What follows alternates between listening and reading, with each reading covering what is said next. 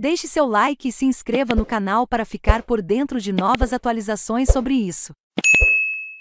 Jornalista antiguerra russa pede que população denuncie ofensiva na Ucrânia. A jornalista russa Marina Ovsenikova, que se tornou referência antiguerra, depois de aparecer com um cartaz em um programa de notícias pró-Kremlin, pediu ao povo de seu país que denunciasse a ofensiva do exército russo na Ucrânia. Os tempos são muito sombrios e muito difíceis, e quem tem uma opinião cívica, e quer dar a conhecer essa opinião deve fazer ouvir a sua voz. É muito importante, disse em entrevista ao canal de televisão americano ABC.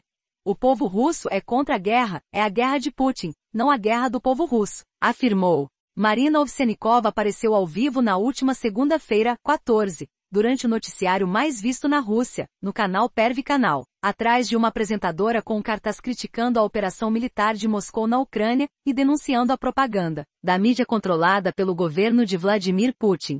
Na ABC, explicou que pretendia realizar um ato que tenha mais impacto e chame mais atenção do que as manifestações de rua reprimidas pela polícia. Viu o que realmente acontece na Ucrânia, e o que meu canal mostra é muito diferente, disse. Aparecendo segurando um cartaz atrás da âncora, a jornalista de 43 anos queria mostrar ao resto do mundo que os russos são contra a guerra, expor a propaganda pelo que ela é, e talvez encorajar as pessoas a sair e denunciar a guerra. Esperava que meu ato pudesse, de certa forma, fazer as pessoas mudarem de ideia, concluiu. Detida por um curto período de tempo, e depois condenada a pagar uma multa e libertada, Orsenikova deixou o canal onde trabalhava. No entanto, corre o risco de processos criminais que podem levá-la a duras penas de prisão, com base em uma lei recente que reprime informações falsas sobre os militares russos.